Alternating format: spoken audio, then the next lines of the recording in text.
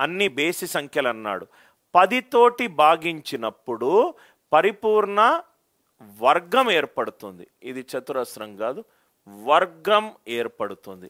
కింది వాటిలో ఈ నాలుగు సంఖ్యలలో ఏది సాధ్యమవుతుంది? నాలుగు సంఖ్యలలో ఏది సాధ్యమవుతుంది? ఫస్ట్ ఏమన్నాడు? బేసి సంఖ్యలు అన్నాడు బేసి సంఖ్యలు దేంతో ఎండ్ అవుతుంది సార్? ఒకటితోటి కానీ మూడుతోటి కానీ ఐదుతోటి కానీ ఏడుతోటి కానీ ఒకటి మూడు ఏడు తొమ్మిది. ఇది బేసి సంఖ్యల unit digit. This is the unit digit of odd number. This is the unit digit of odd number. This is the unit digit of odd number. నవ్వు ఇక్కడ చూడండి సార్ నాలుగు వరుస రెండంకెల బేసి సంఖ్యల మొత్తము పదితో భాగించినప్పుడు పరిపూర్ణ వర్గం అవుతుంది పదితోటి డివైడ్ చేస్తే వర్గం అవుతుంది సి నాలుగు వరుస రెండు సంఖ్యలు సార్. అంటే ఇది పదకొండు పదమూడు పదిహేను పదిహేడు పంతొమ్మిది. రైట్ ఇది సీరియల్ ఆర్డర్లో ఉంది. పదమూడు పదిహేను ఇలా కూడా పెట్టుకోవచ్చు కదా నేను. Three five seven nine one. Twenty three twenty five twenty seven twenty nine thirty one. నేను ఇలా కూడా పెట్టుకోవచ్చు కదా. Five seven nine one three.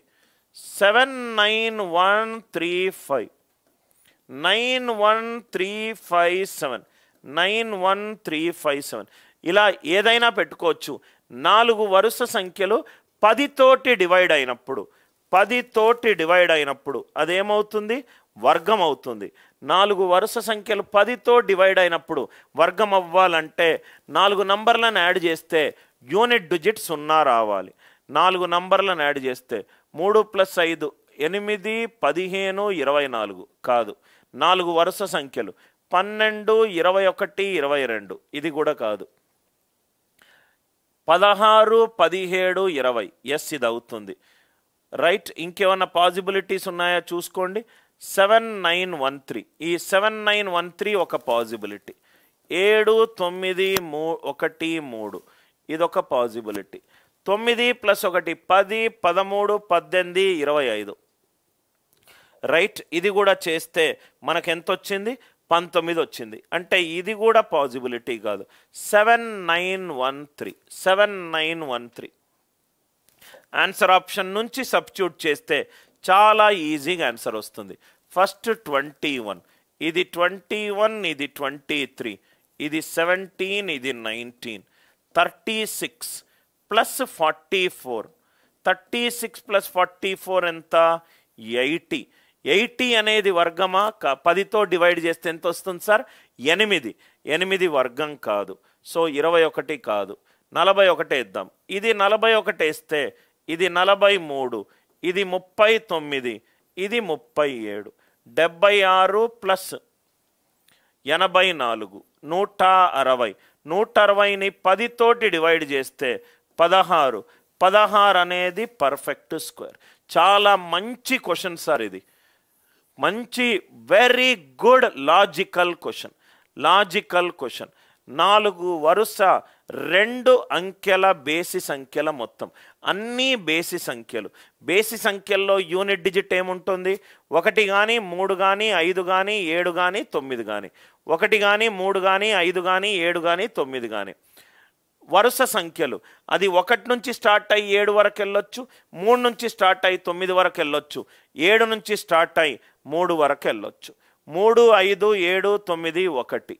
So ఈ నంబర్లు నాలుగు నంబర్లను యాడ్ చేసి పది తోటి డివైడ్ చేస్తే పది తోటి డివైడ్ చేస్తే నాకు ఎంత రావాలి? వర్గం రావాలి.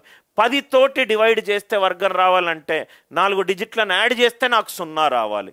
మూడు ప్లస్ ఐదు ఎనిమిది పదిహేను ఇరవై నాలుగు. కాదు. రైట్. పన్నెండు ఇరవై ఒకటి ఇరవై రెండు. కాదు. పదహారు పదిహేడు ఇరవై.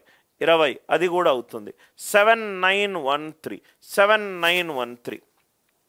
నంబర్లు ఆన్సర్ ఆప్షన్ నుంచి సబ్స్టిట్యూట్ చేశా. So forty one forty one అయితే number ముందేమవుతుంది? Thirty nine thirty seven forty three. ఇది డెబ్బై ఆరు ఇది ఎనభై నాలుగు. Seventy six plus eighty four. One sixty. One సిక్స్టీని పదితోటి డివైడ్ చేస్తే ఆన్సర్ ఎంత? పదహారు. పదహారు అనేది ఫోర్ స్క్వేర్ వర్గం అవుతుంది. ఇది ఈ మెథడ్ ఏంటి sir? Answer option eliminate answer option usage.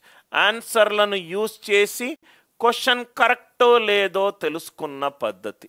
Answer option usage answer option usage answer option usage answer option usage answer option usage everybody I hope the idea it is clear కొంచెం మీకు confuse చేయడానికి ఇంకొన్ని ఎక్- ఈ ఇట్లాంటివి కూడా అడగొచ్చు sir